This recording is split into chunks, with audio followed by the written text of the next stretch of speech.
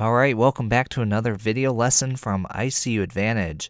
Alright, so in this lesson here, we're going to continue our series here talking about ICU drips, and in this lesson, we're going to begin our discussion talking about paralytics. We're going to specifically address what paralytics are, as well as how they actually work within our patient's body. These are very powerful and potentially very dangerous medications that you are going to come across in the care of your patients in the ICU, so it's really important that you know what's going on with these. So keep watching the lesson, and I'm going to do my best to explain it all to you. Before we get too far in though, if this is your first time here to this channel and you'd be interested in watching more critical care educational content such as this video, then I do invite you to subscribe to our channel below make sure you head down there and hit the bell notification icon. That way, as soon as our new lessons become available, you'll be notified. As always, a special shout out to our awesome subscribers. You guys continually come back, watch our videos, like our videos, comment on there. All that stuff really goes a long way to help support this channel, and for that, I do want to thank you. And my name is Eddie Watson, and this is ICU Advantage. Alright, so let's go ahead and get into our lesson here we're going to start off and talk about what are paralytics. So, our paralytics are also known by another name, something that we call neuromuscular blocking agents. And essentially, what these medications are used for is to prevent the muscle contraction. And so, our neuromuscular blocking drugs or agents are what we call competitive antagonists. And essentially, what this means is that they're going to bind to our acetylcholine receptors but not activate it. And so by taking up these receptor sites, this is going to prevent the actual neurotransmitter acetylcholine from activating that receptor site. And therefore, this is going to result in an inability for these muscles to contract. So when we talk about these medications, it's really important that we understand one thing, and that is that they have no sedative, amnesic, anesthetic, or analgesic properties.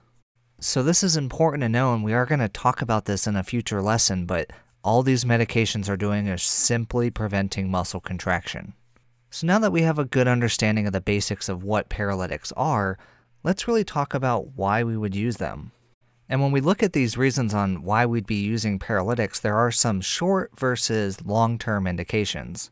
So one of the ways that most of us are probably going to be familiar with these medications is we often use them to help facilitate are endotracheal intubations. And these medications are going to do this by relaxing the patient's jaw and their airway muscles, making that easier. In addition to that, sometimes surgeries are going to require muscle relaxation. We may also look to use these to aid in giving us more accurate hemodynamic monitoring, as well as if we're looking to assess what our patient's abdominal pressure is. We're really going to need our patients to be paralyzed in order to have a true accurate reading. These paralytics can also be really beneficial in helping our patients' compliance with the vent and really helping to reduce that ventilator dyssynchrony. We've also found positive benefits in patients who have ARDS, and this benefit is coming from really relaxing the patient's chest wall and ultimately reducing that intrathoracic pressure. We're also going to use paralytics in patients with high intracranial pressures as well as their use may also decrease our oxygen consumption. And in addition to all this, we'll also sometimes use paralytics to treat that refractory shivering in patients who are hypothermic. So, definitely a lot of different cases in which we could potentially be using these medications. But I really want to stress, though, that we should only be using these medications when all other means to manage our patients have been tried without success. All right, so that lays a good foundation for what are paralytics and why we're going to be using these different medications. In order to really better understand these medications, though, we have to dive in and talk about how it is that they work, and this is going to require a little bit of anatomy and physiology. And so to go through this, there's really two different parts of this process that I want to talk about. And so the first of these is to talk about our neuron action potential. And so here we have a picture of a neuron, and here you can see that long axon and the dendrite down there at the end.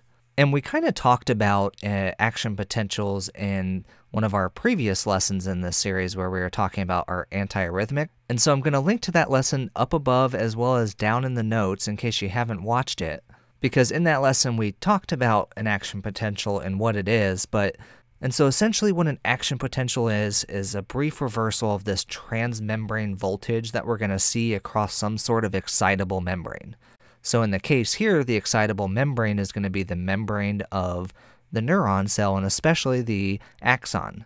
And so when we look at these cells, normally at rest, they're going to be negative inside the cell and therefore positive outside of the cell. And again, this change in voltage is going to be a result of this electrolyte balance that we have. We're going to have sodium outside the cell and potassium inside our cell.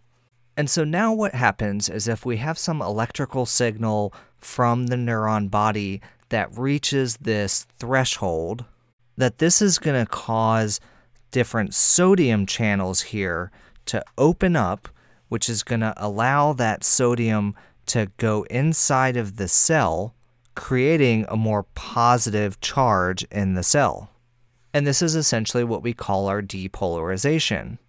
And so now we're going to see this depolarization in the beginning of the axon here, but this is then going to cause neighboring sodium channels to open up, again, allowing more sodium in down there, changing the voltage to a more positive environment inside the cell, and this is just going to continue and propagate its way all the way down the axon.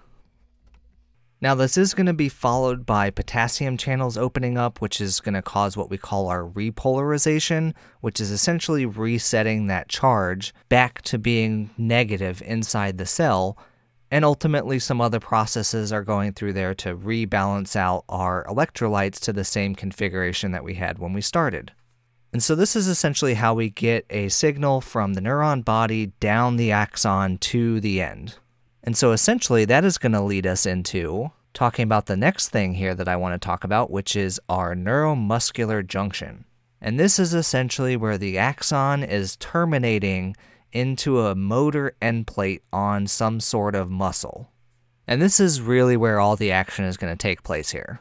So here again, we have that depolarization taking place, and this charge is making its way down the axon. And once this action potential reaches the end here, what we call the axon terminal, what's going to happen is we're going to trigger these calcium voltage gated channels these channels are going to open up and allow calcium inside of the axon terminal. Now, also within the axon terminal, we have these vesicles here. And essentially, these vesicles have the neurotransmitter acetylcholine inside of them. And so, when we have this calcium enter into this part of the neuron, that this is actually going to allow these vesicles to go down and attach to the base of our membrane, and this is going to release the acetylcholine into this gap junction. And so then now this acetylcholine is going to diffuse across this synaptic cleft, and they're going to bind to these acetylcholine receptors. And by binding to these receptors, these are actually sodium gated channels.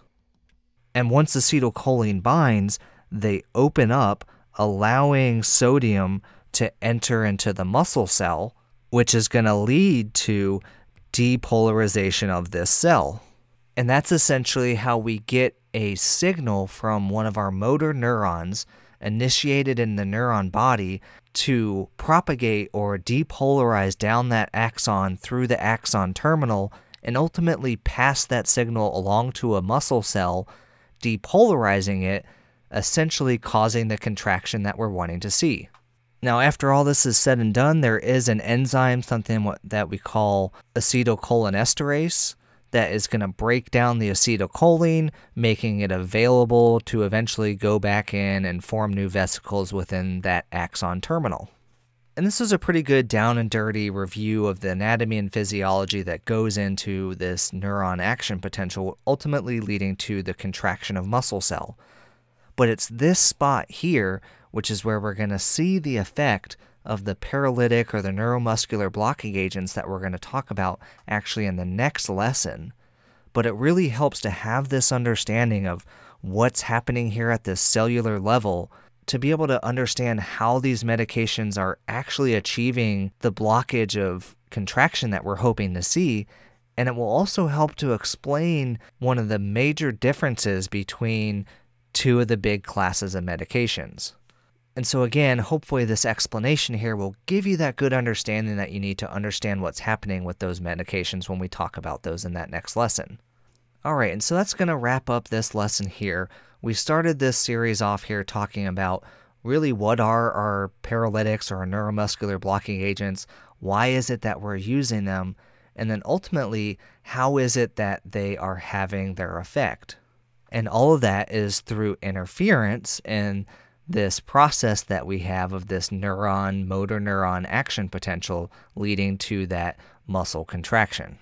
I hope that so far this stuff made sense for you guys and that you were able to get some good information out of this lesson.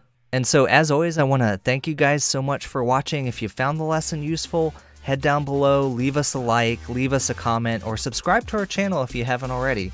Make sure and also check us out on Facebook, Instagram, and Twitter, as well as check out another one of our awesome videos right here. Thank you guys so much for watching. You have a wonderful day.